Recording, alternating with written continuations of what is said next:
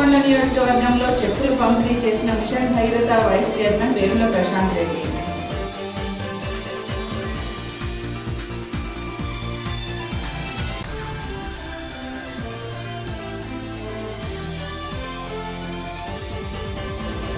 Armoor నియోజకవర్గంలో పర్యటించి రైతు బంధు చెక్కులను పంపిణీ చేసిన ఎమ్మెల్యే జీవన్ రెడ్డి.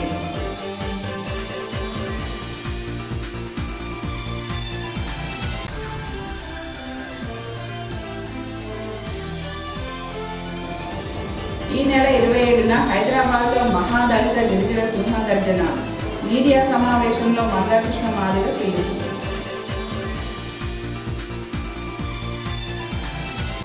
వేల్పూర్ మండలంలోని ఎక్స్ రోడ్ వద్ద గల మార్కెట్ యార్డులో mission Bhagiratha vice chairman Balkonda నియోజకవర్గ ఎమ్మెల్యే వేముల ప్రశాంత్ రెడ్డి కళ్యాణ లక్ష్మి షాదీ ముబారక్ దరఖాస్తు ఫారాలను పరిశీలించి సంతకాలు చేశారు. ఈ సందర్భంగా ఎమ్మెల్యే మాట్లాడుతూ దేశంలో ఏ రాష్ట్రంలో లేని విధంగా మన తెలంగాణలో కళ్యాణ లక్ష్మి షాదీ ముబారక్ పథకం ఉందని పేద కుటుంబాలు సంతోషంగా పెళ్ళిళ్ళు చేయడం జరుగుతుందని అన్నారు. పేద కుటుంబాల ఆనందం కోసమే ఈ పథకాన్ని సీఎం కేసీఆర్ అమలు చేశారని తెలిపారు. పేద కుటుంబాల సంతోషమే సీఎం కేసీఆర్ లక్ష్యమని పేర్కొన్నారు. రోజు మీరు నిజం చేసినందుకు మరొక్కసారి మీకు ప్రత్యేక ధన్యవాదాలు తెలియజేస్తున్నాము. లక్షల పైగా అదేవిధంగా కబ్రస్థాన్కు ఆరు లక్షల పైగా ఇంకా మిగతా పనులు అన్నీ కూడా ఇస్తే కూడా నా అభినందనలు. ఇలాంటి కార్యక్రమాల ద్వారానే ప్రభుత్వం మీద ప్రజల గ్రామం ఎర్గట్ల మండలంలో కలిసినా కానీ వీళ్ళకి ఒకటే ఒకటి అపోహ ఉంది. ఎర్గట్ల గ్రామంలో ఉన్నటువంటి ఎమ్మెల్యే గారిని మాట్లాడవలసిందిగా కోరుచున్నాం. ఇది రైతులు కానీ గ్రామస్తులు కానీ అపోహలో ఉన్నారు. ఆ అపోహను సృష్టిస్తున్నారు కొంతమంది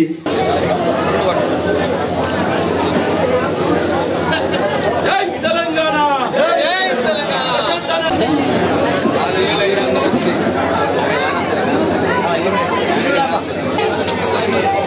మరి అట్లాగే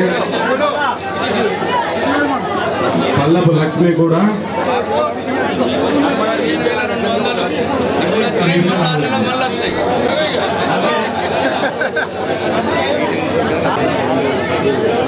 పల్లపు లక్ష్మి గారికి ఇప్పుడు చెక్కు అందజేయడం జరుగుతుంది. దయచేసి దాదాపు పన్నెండు వేల కోట్ల రూపాయలు రాష్ట్ర రైతాంగానికి పెట్టుబడిగా ఇవ్వాలని చెప్పి గౌరవ ముఖ్యమంత్రి నిర్ణయించుకోవడం జరిగింది. కేవలం మన తుర్తి గ్రామానికి ఆరు వందల నలభై మూడు మంది రైతన్నలకు ఈ వర్షకాలం పట్ట పంట పెట్టుబడి సాయం కింద డెబ్బై మూడు లక్షల ఇరవై మూడు వేల రెండు వందల ఎనభై రూపాయల చెక్కులు ఇవాళ కేసీఆర్ గారు మీకు పంపించారు అని చెప్పి ఈ సందర్భంగా మనం చేస్తా ఉన్నా. ఇంత గొప్ప నిర్ణయం తీసుకున్నందుకు రైతుకు అండగా ఉండటానికి రైతుకు ధైర్యం ఇవ్వటానికి ఇంత మంచి ఆలోచన చేసి ఇంత గొప్ప నిర్ణయం తీసుకున్నందుకు తుర్తి గ్రామ రైతుల పక్షాన నా పక్షాన గౌరవ ముఖ్యమంత్రి కేసీఆర్ గారికి నా హృదయపూర్వక ధన్యవాదాలు నా పాదాభివందనాలు కూడా తెలియజేస్తా ఉన్నా. ఇది మామూలు సాధ్యం కాదు.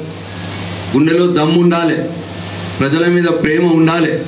రైతులని ఆదుకోవాలన్న ఒక గట్టి హృదయంలో మనసులో అదొక గట్టి ప్రయత్నం అంటూ ఉండాలి. అటువంటి వ్యక్తి చేయగలుగుతాడు ఈ పని.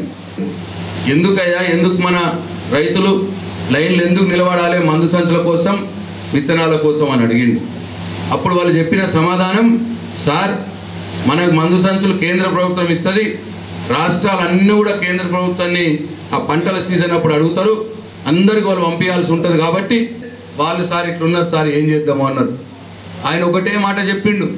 మరి అందరికి అవసరం ఉన్నప్పుడు ఎందుకు అడుగుతారయ్యా మీరు కేంద్రాన్ని?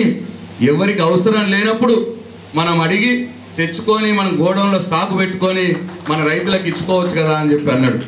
మనం పదిహేడు లక్షల మెట్రిక్ టన్నుల గోడౌన్లు కొత్తగా కట్టుకొని ప్రారంభం కూడా చేసుకున్నాం. ఎక్కడ నాలుగు లక్షల యాభై సంవత్సరాలలో ఎక్కడ మూడు సంవత్సరాలలో పదిహేడు లక్షలు మెట్రిక్ టన్లు ఒక్కసారి ఆలోచించుకోవాలి. మొట్టమొదలు చెరువులు మంచిగా చేసుకుందాం.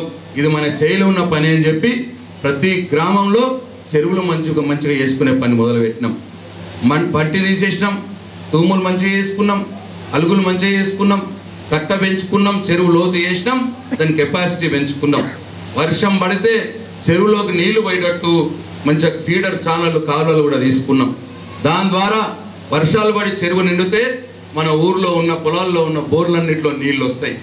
అదొక మార్గం. మనం పంట పొలాలకు నీళ్ళు తెచ్చుకునే మార్గం మొదటి మార్గం అది. పోచంపల్లి ప్రాజెక్ట్ నింపుకోవాలి దాని గురించి కూడా ఆలోచన జరిగింది.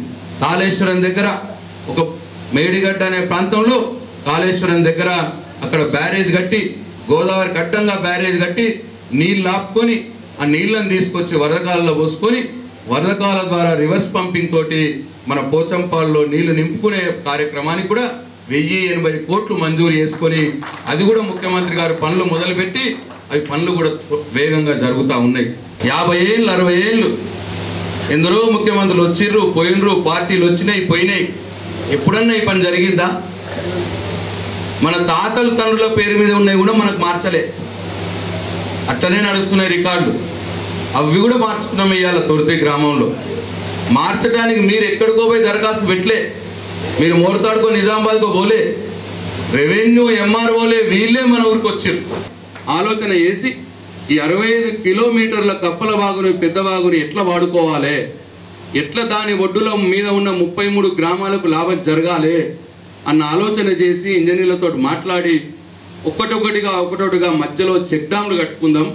చెక్ డ్యామ్లు కట్టుకుంటే వర్షాలు మంచిగా పడి వాగు వారితే ఒక్కసారి ఆ చెక్ డ్యామ్ల ద్వారా ఒక కిలోమీటర్ నీళ్ళు వెనుకకు నిల్చుంటే ఇటు మూడు కిలోమీటర్లు అటు మూడు కిలోమీటర్లు ఒడ్డుకు రెండు వైపులా మొత్తం బోర్లన్నీ కూడా నీళ్ళతోటి నిండుతాయి అన్న ఆలోచనతోటి మొదలుపెట్టి ఒకటొకటి ఒకటొకటి ఒకటొకటి.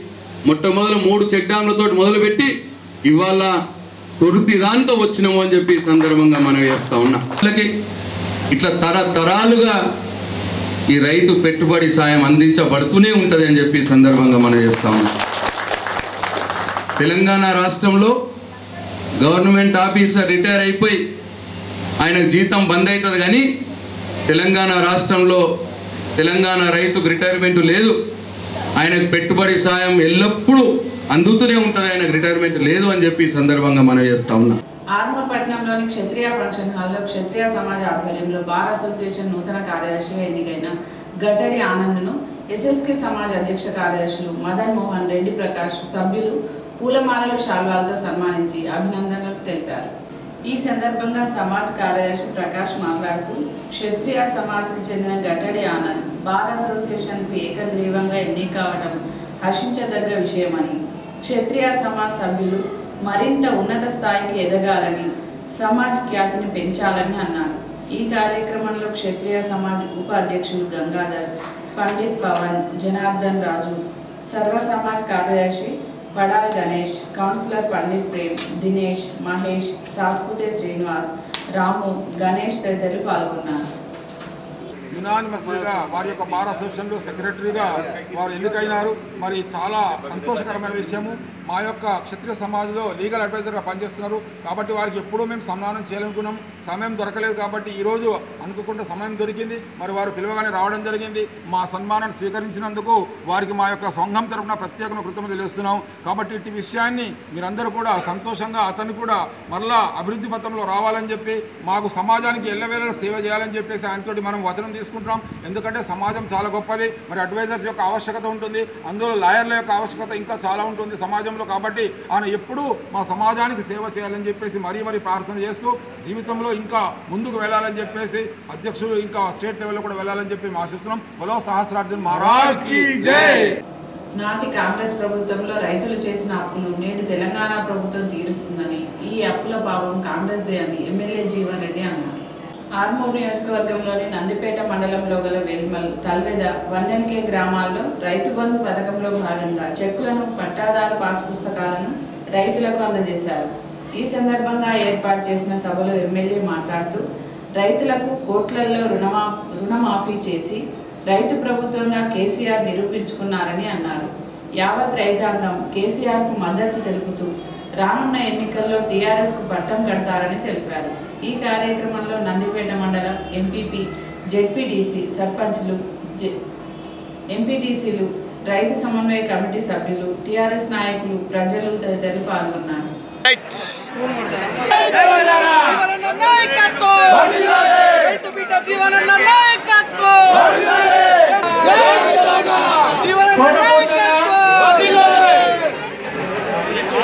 మా రైతులు డెబ్బై ఏళ్ళలో కాంగ్రెస్ టీడీపీ పాలనలో అనగా దొక్కబడి రైతులు పదివేల అప్పు నుంచి ఒక లక్ష రూపాయల వరకు అప్పు చేసిండ్రు. వాళ్ళ అప్పులంతా మేము తీరుస్తామని ఎన్నికల ముందు చెప్పాం. చెప్పింది చెప్పినట్టుగా ఒక్క వెల్మల్ గ్రామంలోనే పదిహేను వందల అరవై మంది రైతులకు కాదు ఒక లక్ష రూపాయలు రుణమాఫీ చేసిన ఏకైక ప్రభుత్వం తమ్మున్న ముఖ్యమంత్రి మన ముఖ్యమంత్రి కేసీఆర్ గారు మీ ఎమ్మెల్యే జీవన్ రెడ్డి. దీనికి కూడా సపోర్ట్ తక్క. రెండోది కరెంటు. కిరణ్ కుమార్ రెడ్డి ఏం చెప్పిండు? తెలంగాణ వస్తే వెలుమలంతా చీకటి మయమైపోతుంది. మీకు స్తంభాలు ఉన్నాయి స్తంభాల మీద వైర్లు ఉంటాయి వైర్లు ఉంటే మైక్ ఉంటుంది మైక్ ఉంటే కరెంట్ ఉంటుంది కరెంటు లేక మీ జీవన్ రెడ్డి మాట్లాడలేడు. వెల్ వెల్మలంతా చీకటి అయిపోతుంది అని చెప్పిండు. కరెంటు లేదా? సప్పుడు గారు కరెంటు లేదా ఏ ఎవరు మూడు రోజులు వెల్మల్ల మొత్తం కరెంట్ బంద్ చేయి. అవ్వాలి బాబులు రోడ్డు మీకు వచ్చి ధర్నా చేస్తారు గప్పుడంటే చెప్తారు అయ్యా పని చేయకయ్యా అని. రైతులకు కరెంట్ ఇస్తే బట్టలు ఉతికేసుకొని వైర్ల మీద ఆరేస్తారని చెప్పి రాష్ట్ర ముఖ్యమంత్రులు కేసీఆర్ గారు ఇరవై నాలుగు గంటల కరెంటు పగటి పూట కరెంటు సవాయిల కరెంటు వద్దన్నంత వరకు కరెంటు రైతులకు పూర్తిగా ఉచిత కరెంటు ఇచ్చిన ఏకైక దమ్మున్న ముఖ్యమంత్రి మన ముఖ్యమంత్రి కేసీఆర్ గారు. మీ పార్టీ టిఆర్ఎస్ పార్టీ మీ ఎమ్మెల్యే జీవన్ రెడ్డి కాదు. ఇప్పుడే కరెంట్ ఇస్తున్నావు అంటు ఇక్కడ కూడా మాజీ స్పీకర్ సురేష్ రెడ్డి అంటుంది అక్కడ ఆకుల లలిత అంటుంది. ఆకుల లలిత గారు కూడా అంటున్నారు. ఏమంటున్నారు? అరే నువ్వే కరెంట్ ఇచ్చినావా? మేము కూడా కరెంట్ ఇచ్చినామన్నారు. నేనంటున్నా బిడ్డ మీరు కూడా కరెంట్ గారు తెలంగాణ రాష్ట్రం ఏర్పడ్డ తర్వాత మా తెలంగాణ రైతులకు ఇరవై నాలుగు గంటల కరెంట్ ఇస్తాం సవాయిల కరెంట్ ఇస్తాం సవాయిల ఐదు గంటలకు మారించుకొని పదకొండు గంటలకు గంగక్క బిడ్డ పెళ్ళి. మధ్యాహ్నం లింగక్క బిడ్డ పెళ్ళి చూపులు. సాయంత్రం మన మైసమ్మ మన బీరప్ప బీరమ్మ పండుగ ఇట్లాంటి పండుగలకు పోయి ఎవరు ఎప్పుడు ఎవరికి ఆటమైతే అప్పుడు మారించుకున్నారు కరెంటు వద్దన్నంత వరకు కరెంట్ ఇస్తున్నారు. ఈ విధంగా ఉచిత కరెంటు ఇరవై నాలుగు గంటల కరెంటు రైతులు వద్దన్నంత వరకు ఇచ్చిన ఏకైక ప్రభుత్వం దమ్మున్న ప్రభుత్వం దమ్మున్న ముఖ్యమంత్రి మన ముఖ్యమంత్రి కేసీఆర్ గారు. అందరినీ గ్రామ రైతులు అన్ని రంగాల్లో అందరికంటే ముందుంటారని వారి ఆరోగ్యం సైతం బాగుండాలనే ఉద్దేశంతో హెల్త్ క్యాంప్ నిర్వహించడం జరిగిందని మాజీ స్పీకర్ సురేష్ రెడ్డి అన్నారు. ఆర్మూర్ మండలంలోని మంతని గ్రామంలో సురేష్ రెడ్డి ట్రస్ట్ ఆధ్వర్యంలో మ్యాక్స్ క్యూర్ ఆసుపత్రి సౌజన్యంతో ఏర్పాటు చేసిన ఉచిత వైద్య శిబిరాన్ని ఆయన ముఖ్య అతిథిగా హాజరై ప్రారంభించారు. ఈ సందర్భంగా గ్రామస్తులు ఆయన్ను పూలమాలలతో సన్మానించి కృతజ్ఞతలు తెలిపారు. అనంతరం కాంగ్రెస్ మండలాధ్యక్షులు విట్టం జీవన్ యూత్ నాయకులు నవీన్ రెడ్డిలు మాట్లాడుతూ గ్రామస్తుల కోసం అడుగడుగున వైద్య శిబిరం ఏర్పాటు చేసినందుకు సురేష్ రెడ్డి గారికి గ్రామస్తులు రుణపడి ఉంటారని అన్నారు. మాజీ స్పీకర్ సురేష్ రెడ్డి మాట్లాడుతూ గ్రామ యూత్ సభ్యులు శిబిరం ఏర్పాటు చేయాలనే ఆలోచనతో తన దగ్గరకు రావటం వల్ల మ్యాక్స్ క్యూర్ ఆసుపత్రి వారితో మాట్లాడి శిబిరాన్ని నిర్వహించడం జరిగిందని హైదరాబాద్ నిజామాబాద్ వెళ్ళి two D echo ECG BP sugar లాంటి టెస్టులు అధునాతన పద్ధతిలో చేసుకోలేని వారికి ఇది అద్భుతమైన అవకాశమని అన్నారు. వైద్యులు ఉచితంగా సేవలు అందించినందుకు కృతజ్ఞతలు తెలిపారు. ఈ కార్యక్రమంలో డాక్టర్లు doctor Anand Raj doctor Rameshwar doctor Prashanth doctor Naveen Arundhati youth సభ్యులు కాంగ్రెస్ నాయకులు కార్యకర్తలు ఆసుపత్రి సిబ్బంది గ్రామస్తులు తదితరులు పాల్గొన్నారు. ఈ క్యాంప్లో మేము నేను గుండె డాక్టర్ కార్డియాలజీ డాక్టర్. దాంతో పాటు ఫిజిషియన్ డాక్టర్ ఉన్నారు న్యూరో సర్జన్ డాక్టర్ ఉన్నారు. సో ఈ క్యాంప్ ఈవినింగ్ ఫోర్ ఫైవ్ దాకా చేస్తాము. ఈ క్యాంప్లో మీకు ఉన్న సమస్యలు blood checkup sugar heart attack సంబంధించి ఈసీజీ ఏకో స్కాన్ ఇవన్నీ చేస్తాం సో కంపల్సరీగా అందరూ ఓపిక పెట్టండి. ఈ కంపల్సరీ ఒక్కొక్క పేషెంట్ని టైం తీసుకొని చెకప్ చేస్తాము.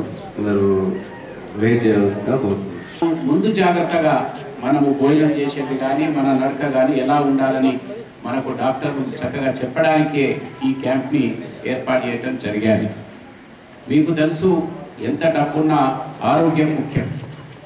ఆరోగ్యం లేనిది ఏం సుఖం ఉండదు.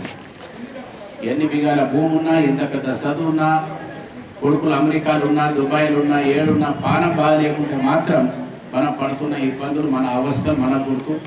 ప్రత్యేకంగా వయసు వచ్చినా కొద్ది పెద్ద మనుషులకైతే ఇంకా లేని ఇబ్బందులు ఉంటాయి. అందుకొరకు వైద్యం అనేది పేదవారికి దూరంగా ఉండకూడదు అనే ఉద్దేశంతో ప్రభుత్వాలు రకరకాల కార్యక్రమాలు తీసుకొస్తూ వచ్చారు. ఆరోగ్యశ్రీ లాంటి కార్యక్రమాలు తీసుకొచ్చారు. ఆరోగ్యశ్రీతో ధైర్యం వచ్చారు వాళ్ళు ఎంత పేద మనిషికైనా నేను హైదరాబాద్లో కానీ నిజామాబాద్లో కానీ ఒక పెద్ద దవాఖానకు వెళ్ళి ఎంత ఖర్చైనా బాధ లేకుండా ప్రభుత్వం ఖర్చుతో చూపించుకొని నేను పానంతో బయటకు వస్తానని ధైర్యం వస్తుంది. ఏదో కొన్ని కారణాలతో ఆరోగ్యం చెడిపోయినా మరి మీకు తొందరగా ఇలా చేసి పంపేయాలనేది డాక్టర్ల ఆలోచన. అయితే మీరు చాలా మంది నిజామాబాద్ దాకా రాలేకపోతారు కాబట్టి డాక్టర్లే మేమే స్వయంగా ఇక్కడికి వస్తామని ఎప్పుడైతే మన గ్రామానికి సంబంధించిన పెద్దలు ఇక్కడ మంతని పరిస్థితిని అర్థం చేసుకొని మరి తమ్ముడు నవీను మరి నవీన్కి అన్ని విధాలా సహకరిస్తున్న మొత్తం యువ బృందం. మీ అందరికీ కూడా నేను ప్రత్యేకంగా అభినందించాలి. ఈ క్యాంప్లో ఓపికతో మళ్ళీ మళ్ళీ ఇటువంటి అవకాశం రోజు రోజు రావాలంటే రావు కాబట్టి ఇక్కడ ఉన్నోళ్ళు కాక అప్పటి వరకు ఇంకెవరన్నా లేని వారికి కూడా వాళ్ళంతా కూడా తెలిసి పిలిపించి ఈ క్యాంప్ని పెద్ద ఎత్తున విజయవంతం చేస్తున్న మీ అందరికీ నేను అభినందిస్తూ ఈ నెల ఇరవై ఏడున జరిగే దళిత గిరిజన సింహ గర్జన కార్యక్రమాన్ని విజయవంతం చేయాలని ఎంఆర్పిఎస్ వ్యవస్థాపక అధ్యక్షుడు మందకృష్ణ మాదిగ పిలుపునిచ్చారు. ఆర్మూర్ పట్టణంలోని మెడికల్ అసోసియేషన్ భవన్లో ఎంఆర్పిఎస్ ఆధ్వర్యంలో విలేకరుల సమావేశం నిర్వహించి మాట్లాడారు. ఈ సందర్భంగా మందకృష్ణ మాదిగ మాట్లాడుతూ ఎస్సీ ఎస్టీ అట్రాసిటీ చట్టం పట్ల సుప్రీంకోర్టు తీర్పును నిరసిస్తూ వరంగల్లో ఎస్సీ ఎస్టీ జాతీయ సింహగర్జన కార్యక్రమాన్ని చేపట్టడం జరిగిందని తెలిపారు.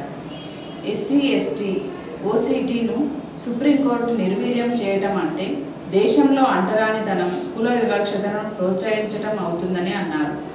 ఆర్టికల్ సెవెంటీన్ ప్రకారం అంటరానితనం నిషేధించిన తర్వాత అంటరానితనం పాటించడం అనేది నేరమైనప్పుడు ఆ నేరం చేసిన వాళ్ళను శిక్షలు వేయాల్సిన నేరస్తులను కాపాడే విధంగా కోర్టు ప్రోత్సహిస్తుందని పేర్కొన్నారు. ఎస్సీ ఎస్టీ అట్రాసిటీ కేసును నిర్వీర్యం చేసిన సుప్రీంకోర్టు తీర్పుకు నిరసనగా దీనికి కారణమైన కేంద్ర ప్రభుత్వ వైఖరికి నిరసనగా జాతీయ స్థాయిలో బలమైన ఉద్యమాన్ని నిర్వహించటం నిర్వహించబోతున్నామని చెప్పారు. ఈ కార్యక్రమంలో మాల మహానాడు జాతీయ అధ్యక్షులు చెన్నయ్య ఎంఆర్పిఎస్ నాయకులు తదితరులు పాల్గొన్నారు. హరించే వాళ్ళను కాపాడే ప్రయత్నంలో నిర్దోషులుగా వదిలిపెడుతుంది.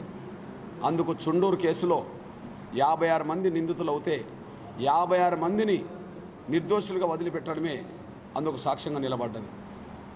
అంటే న్యాయ వ్యవస్థ రాజ్యాంగాన్ని రాజ్యాంగ స్ఫూర్తిని కాపాడాల్సింది పోయి న్యాయ వ్యవస్థే రాజ్యాంగ స్ఫూర్తిని దెబ్బతీస్తూ అంటరాంతరాన్ని ప్రోత్సహిస్తే న్యాయ వ్యవస్థే జీవించే హక్కును హరించే వాళ్ళని కాపాడే ప్రయత్నం చేస్తే కంచే చేయని మేసిన చందంగా మరి దళిత గిరిజనులను కాపాడేది ఎవరని చెప్పి నేను స్పష్టం చేస్తున్నా. ఎస్సీ ఎస్టీ అట్రాసిటీ యాక్ట్ను నిర్వీర్యం చేసిన సుప్రీంకోర్టు తీర్పు నిరసనగా ఆ తీర్పు రావడానికి ప్రత్యక్షంగా పరోక్షంగా కారణమైన కేంద్ర ప్రభుత్వ వైఖరి నిరసనగా జాతీయ స్థాయిలో ఎస్సీ ఎస్టీలు బలమైన ఉద్యమాన్ని కేంద్ర ప్రభుత్వానికి వ్యతిరేకంగా సుప్రీంకోర్టు తీర్పుకు వ్యతిరేకంగా నిర్వహించబోతున్నాం. అందులో భాగమే మే ఇరవై ఏడో తారీఖు నాడు వరంగల్లో లక్షలాది మందితో ఎస్సీ ఎస్టీల జాతీయ సింహగర్జన నిర్వహించబోతున్నాం. ఈ సింహగర్జన కంటే ముందే కేంద్ర ప్రభుత్వం వెంటనే మార్చి ఇరవై కంటే ముందు ఎస్సీ ఎస్టీ యాక్ట్లో ఏ సెక్షన్లు అయితే ఉన్నాయో వాటినే పునరుద్ధరిస్తూ వెంటనే ఆర్డినెన్స్ తీసుకురావాలని ఆర్డినెన్స్కి చట్టబద్ధత కల్పించడం కోసం ప్రత్యేక పార్లమెంట్ సమావేశాలు ఏర్పాటు చేయాలని ఆ పార్లమెంట్ సమావేశాల్లో నైన్త్ షెడ్యూల్లో చేర్చి ఆ చట్టానికి శాస్త్ర రక్షణ కల్పించాలని మేము డిమాండ్ చేస్తున్నాం.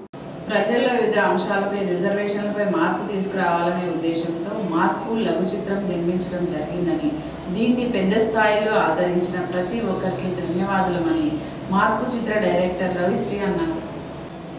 ఆర్మూర్ పట్టణంలోని ఓ ఇన్స్టిట్యూట్లో విద్యార్థులకు లఘు చిత్రాన్ని చూపించి సక్సెస్ మీట్ను నిర్వహించారు. బార్ అసోసియేషన్ కార్యదర్శి గట్టడి ఆనంద్ కేక్ కట్ చేసి డైరెక్టర్ చిత్ర బృందానికి తినిపించి అభినందనలు తెలిపారు. ఈ సందర్భంగా చిత్ర డైరెక్టర్ రవిశ్రీ మాట్లాడుతూ సమాజంలో రిజర్వేషన్లపై మార్పు తీసుకురావాలని దేశ ప్రజలంతా ఒక్కటి అన్న ఆలోచనతో ఈ లఘు చిత్రాన్ని రూపొందించడం జరిగిందని.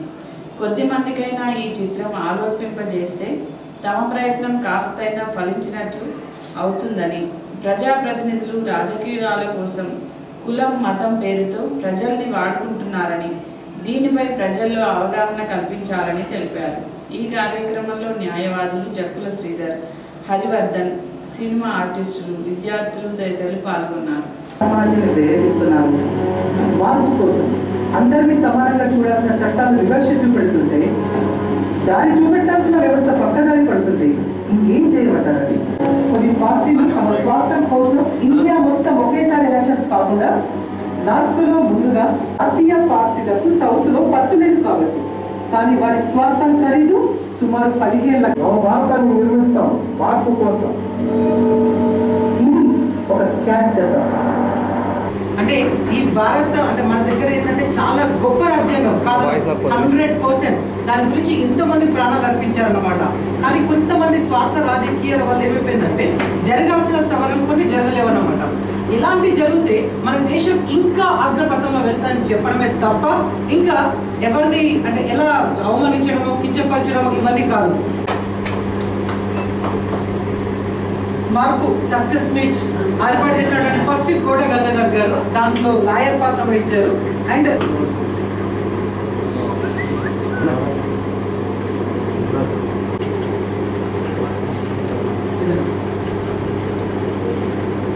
బీడీ కార్మికులకు పెరిగిన కరువు భత్యాన్ని వెంటనే అమలు చేయాలని తెలంగాణ ప్రగతిశీల బీడీ వర్కర్స్ యూనియన్ రాష్ట్ర కార్యదర్శి సుధాకర్ డిమాండ్ చేశారు.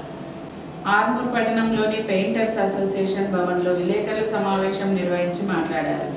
ఈ సందర్భంగా సుధాకర్ మాట్లాడుతూ బీడీ కార్మికులకు పెరిగిన కరువు భత్యాన్ని వెంటనే అమలు చేయాలని లేని ఏడల పెద్ద ఎత్తున రాష్ట్ర వ్యాప్తంగా ఆందోళన కార్యక్రమాలు చేపడతామని హెచ్చరించారు. బీడీ కార్మికులకు నెలకు ఇరవై రోజు ఇరవై ఆరు రోజులు పని కల్పించాలని డిమాండ్ చేశారు. బీడీ కార్మికుల కూలీ పెంచే విషయంలో ట్రేడ్ యూనియన్లు తమతో కలిసి రావాలని బీడీ కార్మికుల కోసం పోరాటాలు చేయాల్సి ఉందని పేర్కొన్నారు. ఈ కార్యక్రమంలో ఏఐఎఫ్టియు డివిజన్ అధ్యక్షులు శ్రీనివాస్ నాయకులు దండం హనుమాన్లు సాజీవ్ తదితరులు పాల్గొన్నారు. ఖచ్చితంగా యాజమాన్యం అమలు చేయాలి. లేకుంటే మేము రాష్ట్ర వ్యాప్తంగా ఆందోళన చేసి ఈ వీడియోను ఖచ్చితంగా అమలు చేయాలని చెప్పేసి మేము ఉద్యుతంగా మేము ఉద్యమాలు చేస్తామని హెచ్చరిస్తున్నాం. అయితే గత ఏప్రిల్ నెలలో ఈ వీడియో రెండు రూపాయల అరవై పైసలు పెరిగింది కాబట్టి ఆ పెరిగిన కరువు బెత్తం పట్టుకొని ఒక్క వంద డెబ్బై ఆరు రూపాయలు ఈ యాజమాన్యం కట్టియాలి. మరి అట్లాగే ఈ ఏజ- ఈ కరుబత్తం పెరుగుతుండే తప్ప మరి అసలు కూలీలు వంద రూపాయలు మరి పెరగడం పెరగడం లేదు ఎందుకు? మరి యూనియన్లు ప్రతి యూనియన్ కలిసి వచ్చి ఈ వంద రూపాయలు ఏదైతే పేమెంట్ ఉందో దాన్ని పెంచడం కోసం మనం ఉద్యమించాలి. ఆ కూలీ వంద రూపాయల కూలీ అయితే ఏదైతే ఉందో దాన్ని పెంచడం కోసం మనం ఉద్యమించాలని చెప్పేసి మేము అన్ని యూనియన్లకు విజ్ఞప్తి చేస్తున్నాం. అన్ని యూనియన్లు కలిసి మాకు సహకరించి ఇస్తేనే ఏదైతే వీలైతే దానికి అమలు చేసేట్లు ఉద్యమించాలని చెప్పేసి విజ్ఞప్తి చేస్తున్నాం అందరికీ. ఆర్మూర్ పట్టణంలోని యానాంగుట్ట వద్ద ప్రభుత్వం నిర్వేదలందరికీ డబుల్ బెడ్రూమ్ ఇల్లు నిర్మించి ఇవ్వాలని సిపిఎం పార్టీ ఆధ్వర్యంలో చేపట్టిన భూ పోరాటం నేటితో యాభై నాలుగో రోజుకు చేరింది. ఈ సందర్భంగా సిపిఎం జిల్లా కార్యదర్శి రమేష్ బాబు మాట్లాడుతూ ప్రభుత్వం ఎన్నికల్లో ఇచ్చిన హామీ మేరకు నిరుపేదలందరికీ డబుల్ బెడ్రూమ్ ఇల్లు నిర్మించి ఇవ్వాలని గత యాభై నాలుగు రోజులుగా భూ పోరాటం చేస్తున్నా ప్రభుత్వం పట్టించుకోవటం లేదని ఇప్పటికైనా స్పందించి ఇండ్ల నిర్మాణంపై స్పష్టమైన హామీ ఇవ్వాలని లేని ఎడల ఆందోళన తీవ్రతరం చేస్తామని హెచ్చరించారు. ఈ కార్యక్రమంలో సిపిఎం జిల్లా కమిటీ సభ్యులు వెంకటేష్ నాయకులు నయీం మహిళలు తదితరులు పాల్గొన్నారు. పలుకుబడి పలుకుబడి ఉండి నాయకులైతే ఇట్లనే వదిలేసే వాళ్ళ ఇట్లనే పట్టించుకోకుండా ఉండేవాళ్ళ వాళ్ళకొక ధీమా ఈరోజు కనబడతా ఉన్నది. ఏ వీళ్ళదేముందిలే ఎన్నికలు వస్తే ఏదో మాయమాటలు చెప్పొచ్చు. మళ్ళా మీకు ఇండ్ల ఇండ్ల స్థలాలు ఇస్తామని చెప్పొచ్చు ఇల్లు కట్టిస్తామని చెప్పొచ్చు. అట్లా నమ్మిస్తే వీళ్ళే నమ్ముతారు. వీళ్ళే మా కోట్లేస్తారు అనేటువంటి ఒక దురాలోచన ఈరోజు నాయకుల్లో కనబడతా ఉన్నది. ఉంటాం ఇక్కడనే మేము కాపురం చేస్తాం. నువ్వు చంపుతావా ఏం చేస్తావా? నువ్వు తెలుసుకో తప్ప మేము ఇడికి కదిలేదు లేదు అనేటువంటి పద్ధతుల్లో ఈరోజు రేపటి నుంచి మీరు సిద్ధమవుతా ఉన్నారు. ఇది మంచి పరిణామం. ఎందుకంటే రెండు నెలల నుంచి కనీసం చూడనట్టుంటాడు పలకరించనట్టుంటాడు రేపు మనకు పట్టాలు ఇస్తాడనే నమ్మకం లేదు. రేపు మన దగ్గరికి వస్తాడనే నమ్మకం లేదు. అందువల్లనే మనమే ఇండ్ల స్థలాలు వేసుకోవటం కోసం మనం సిద్ధపడతా ఉన్నాం. రేపు ఇండ్లు వేసుకున్నాక మన నీళ్ళ సౌకర్యం కల్పించకపోతే కరెంట్ సౌకర్యం కల్పించకపోతే లేదా రోడ్లు మోర్లు చేయకపోతే నువ్వు ఎందుకు చేయక్కడ పద్ధతుల్లో నిలదీయడానికి మనం సిద్ధపడాల్సినటువంటి అవసరం ఉన్నది నువ్వు ఇంటి జాగియ్యవు నువ్వు రోడ్లు వేయవు నువ్వు నీళ్ళు ఇయ్యవు నువ్వు కరెంట్ ఇయ్యవు మేము నీకెందుకు ఓట్లు వేయాలనేటువంటి పరిస్థితికి మనం చేరుకుంటే ఖచ్చితంగా వీళ్ళ మెడలు వంచవచ్చు వీళ్ళని మనం సాధించుకోవచ్చు. ఆ రకమైనటువంటి పోరాటానికి మనం రెండో దశ పోరాటానికి సిద్ధపడతా ఉన్నాం. వార్తలు ముగించే ముందు హెడ్లైన్స్ మరోసారి.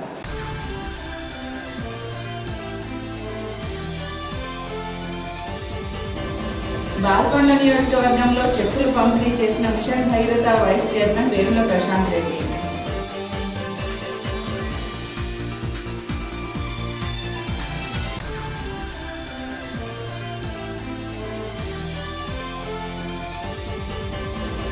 Armoor నియోజకవర్గంలో పర్యటించి రైతు బంధు చెక్కులను పంపిణీ చేసిన ఎమ్మెల్యే జీవన్ రెడ్డి.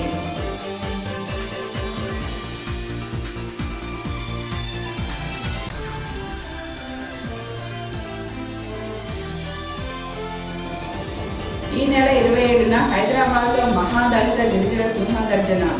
మీడియా సమావేశంలో మందకృష్ణ మాదిగ పిలుపు ఈ వార్తలు ఇంతటితో సమాప్తం తిరిగి వచ్చే బులెటిన్లో కలుద్దాం. అంతవరకు సెలవు. నమస్కారం.